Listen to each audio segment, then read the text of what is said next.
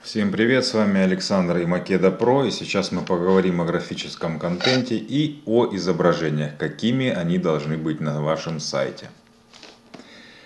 По этому поводу у меня уже написана статья в моем блоге, и написана она была еще как раз э, одной из первых, э, и теперь вот хочу вернуться немножечко и разъяснить все в видео, как это должно выглядеть чем это должно являться и какими должны быть изображения, графический контент.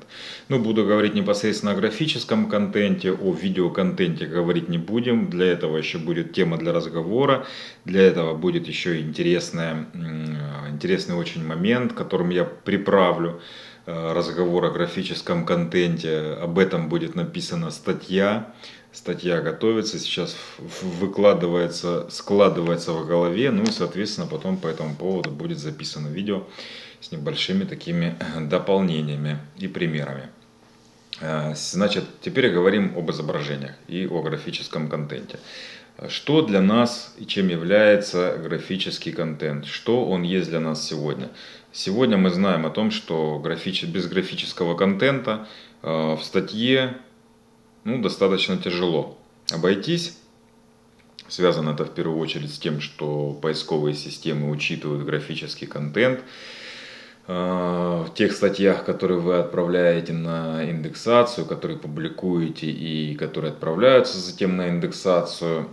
Но графический контент это еще и некий такой маячок, это такой якорь, который цепляет человека и дает возможность этому человеку за что-то зацепиться. То есть фактически момент появления перед глазами человека графического контента – это способ зацепиться за какую-то мысль, за какую-то суть. Проще говоря, не буду долго говорить, проще говоря, это выглядит так. Вы пишете текст, э, какое-то его там определенное количество символов, разбиваете это все на абзацы, и если меняется, допустим, э, ну, грубо говоря, общая мысль всего текста всей статьи должна быть одна, но э, она разбивается, эта статья на какие-то абзацы, которые ну, немножечко как бы так отходят в сторону, то для того, чтобы человек мог зацепиться за что-то и чтобы человек мог вернуться к какому-то участку, отрезку, отрывку текста, э, там логично будет разместить какое-то изображение. Допустим, вы пишете статью о животных, и у вас, например, там идет ну, там, не знаю, животные Африки, либо там животные Южной Америки, вы начинаете, делаете вводную, соответственно, затем вы начинаете расписывать о том, какие животные там проживают. Ну, я не буду даваться в подробности, грубо говоря, там, скажем так, тигр.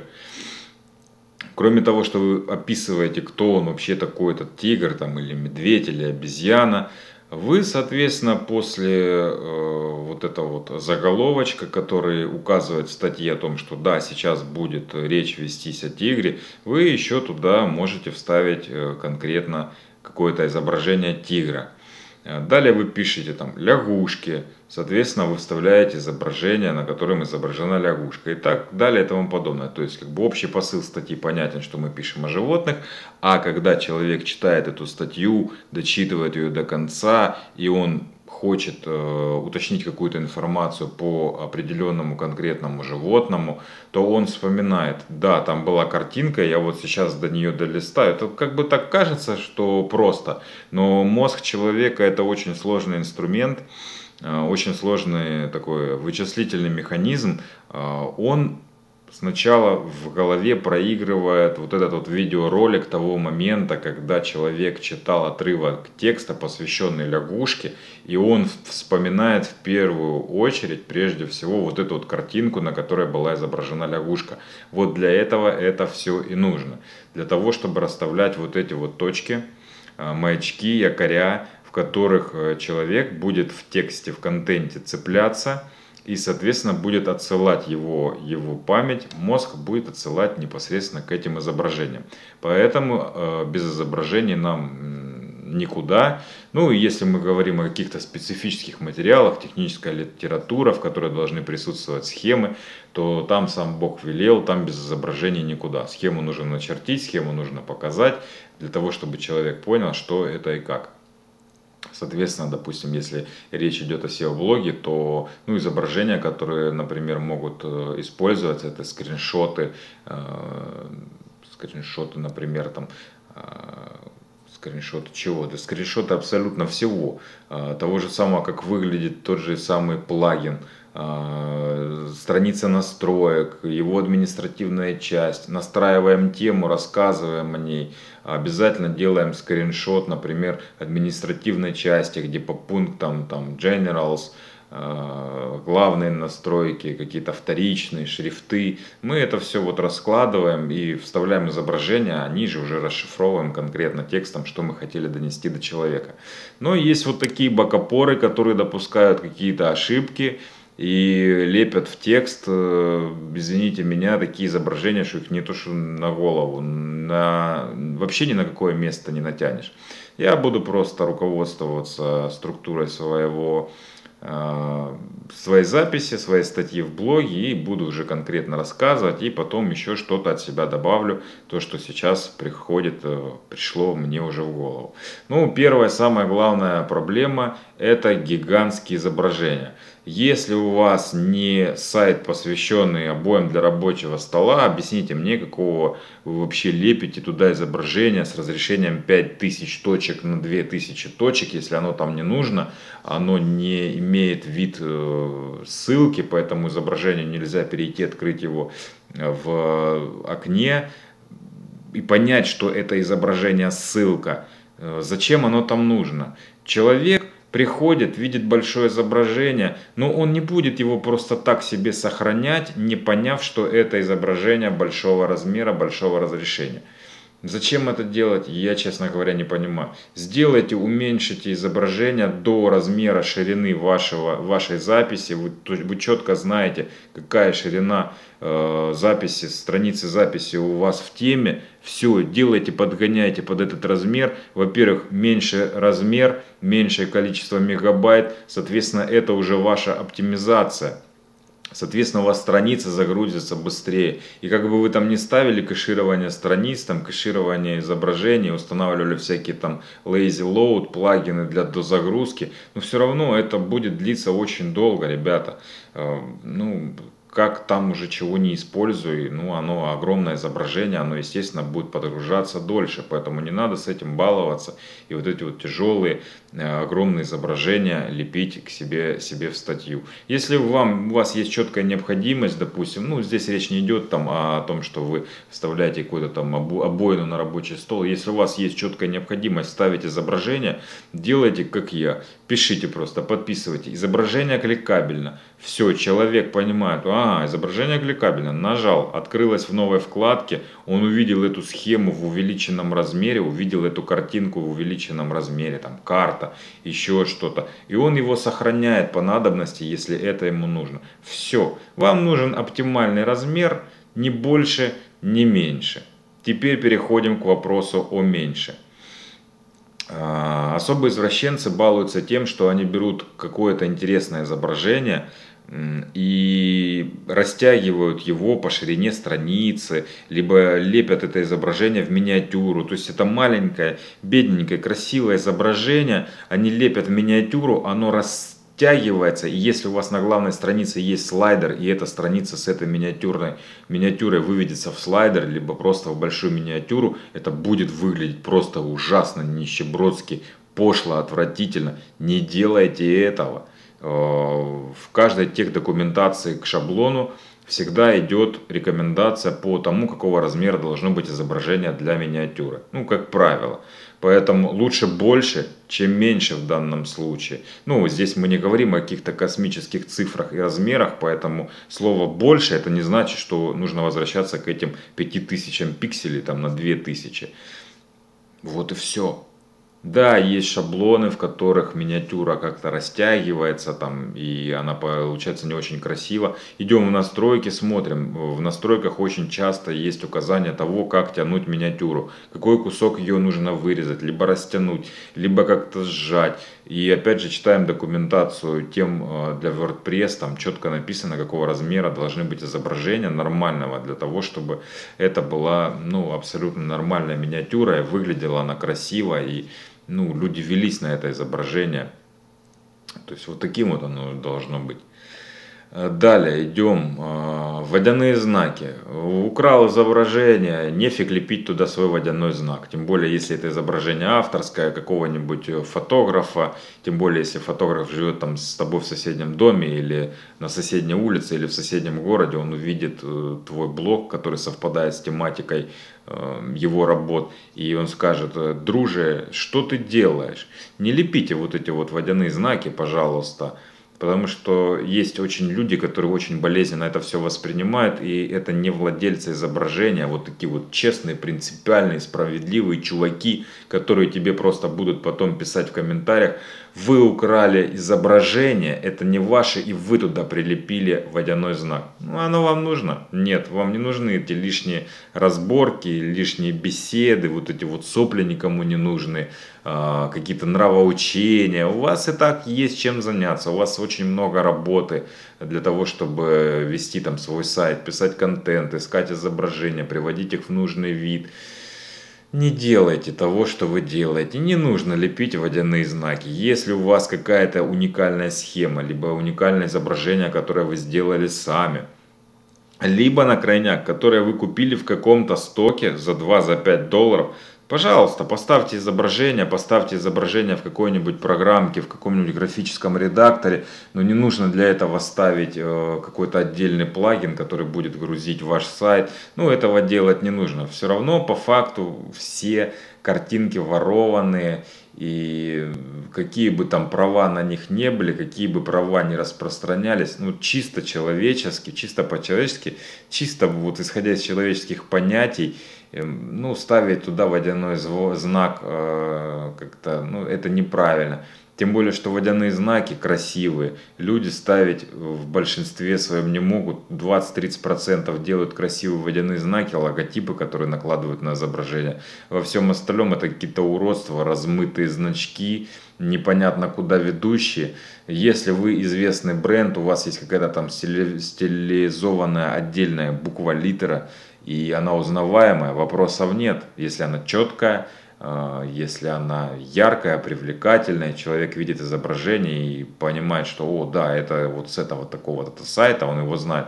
Ну, а если вы пишете на изображении текстом в каком-то углу «Вася Пупкин вчера чихнул .com», ну, это уже пошлятина, ребят, это уже некрасиво. Ну, в ЖЖ очень часто распространена такая практика, что наносятся водяные изображения на черном фоне. Внизу там, допустим, пишется, там, ну, грубо говоря, Илья Варламов, .livejournal.com, Артемий Лебедев, там, .com. Тут вопросов нет, ребята ездят, путешествуют, ведут свои блоги, делают изображения, вкладывают бабки в свои путешествия, фототехнику, а потом выкладывают какие-то интересные очень фоторепортажи вам, посвященные мне очень нравится читать поездки по другим странам. У Артемия Лебедева есть очень интересные репортажи о Северной Корее. Тут вообще вопросов нет, и вы не, не имеете права украсть это изображение, вы не имеете права нанести на такое изображение водяной знак. Поэтому не нужно этого делать. Если это ваше, если это уникально, если это ваши конкретно права, вы хотите, чтобы они были защищены и соблюдены, пожалуйста, наносите водяной знак, там хоть красную Э, букву Z э, в центре, но это изображение должно смотреться, поэтому делайте водяные знаки красивые, если вы их делаете, и не лепите Горбатова, чтобы человек отвлекался на ваш водяной знак, а не обратил внимание на ваше изображение и оценил его уникальность. Дальше идем. Оптимизация изображения перед публикацией. Есть у нас несколько вариантов оптимизации изображений. Можно оптимизировать изображение, поскольку я рассказываю непосредственно о WordPress то я говорю о наличии таких плагинов, при помощи которых можно изображение оптимизировать на лету. Но, как правило, эти плагины идут с каким-то ограниченным функционалом, пока вы не забашляете немножечко бабулек за приобретение лицензии Pro. А, допустим, я пользуюсь очень часто плагином Optimize. Есть еще куча других плагинов. Плагин Optimize, он оптимизирует, сжимает изображение, удаляет лишний мусор, там, метатеги и всякое такое прочее, то, что присуще изображениям. изображениям. Размер такого файла должен быть 100 килобайт и меньше. То есть больше 100 килобайт изображения он не будет обрабатывать нормально. Он как бы будет, но не будет обрабатывать их нормально на 100% так, как положено. Это первое.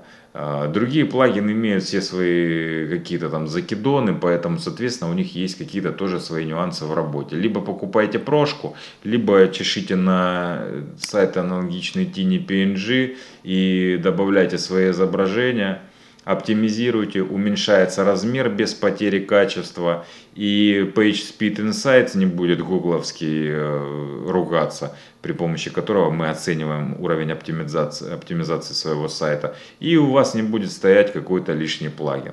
Да, если вы уже налепили кучу фотографий, у вас там библиотека медиафайлов большая, и у вас там, грубо говоря, изображение, ну никуда от этого не деться, они уже имеются какого-то размера, просто подыщите плагины. Есть плагины, которые проводят, допустим, единоразовую оптимизацию библиотеки ваших медиафайлов. Вы скачали этот плагин, установили, оптимизировали все изображения, соответственно у вас э, размер изображения уменьшился, у вас уменьшилось занимаемое место сайтом на хостинге, изображения оптимизированы, э, на них сервисы оптимизации уже не ругаются, они быстро загружаются, соответственно это вам плюс в карму вашего сайта.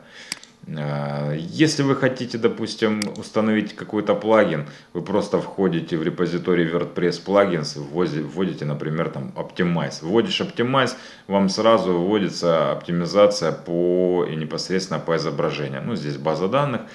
Э, здесь вот у нас, э, здесь автооптимайз, это HTML и CSS. И дальше мы погнали, здесь у нас Smash Image Compression, Short Pixel, Optimus, есть даже плагин здесь установлен, вот он здесь, вот, вот, вот, вот, вот, иди сюда, дорогой. А, та же самая Tiny PNG, вот это вот веселая смешная панда, которая оптимизирует, но она здесь тоже идет с урезанным функционалом, и как бы им пользоваться можно, но какое-то очень недолгое время, либо есть специфика какая-то по э, файлам, по количеству, по размерам и тому подобное. Что еще нужно сказать об оптимизации изображений?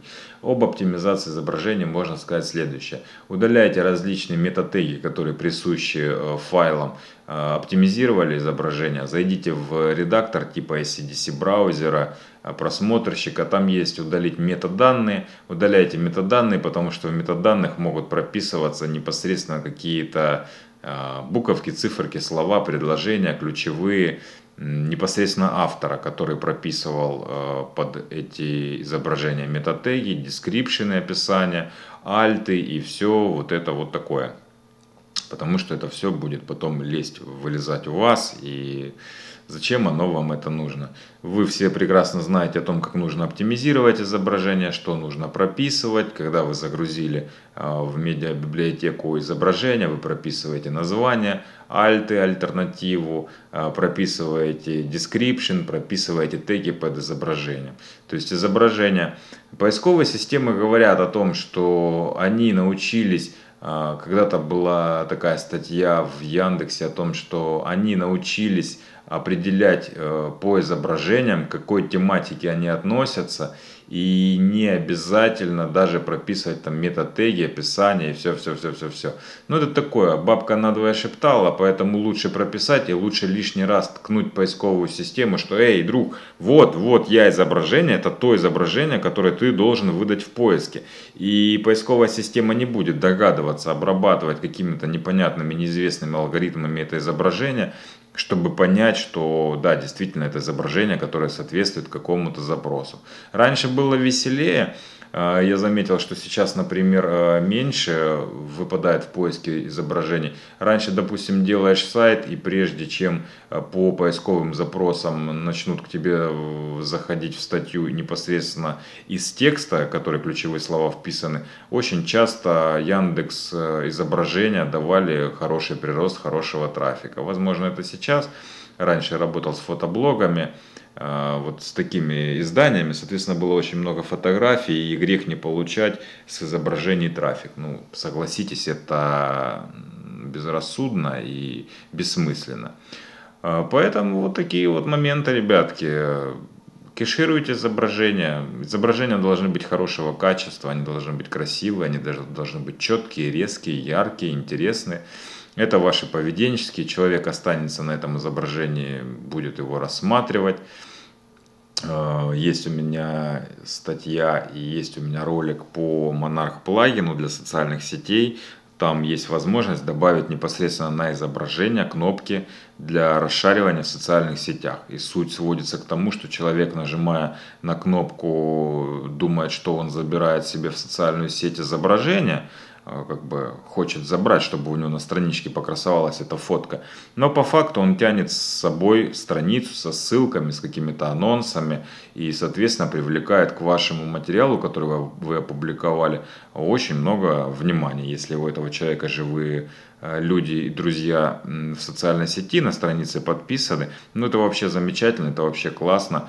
А, статья по монарх плагину есть у меня, есть, соответственно, видеоролик Э, в канале в моем на ютубе, поэтому можно посмотреть, как это работает, там это все показано.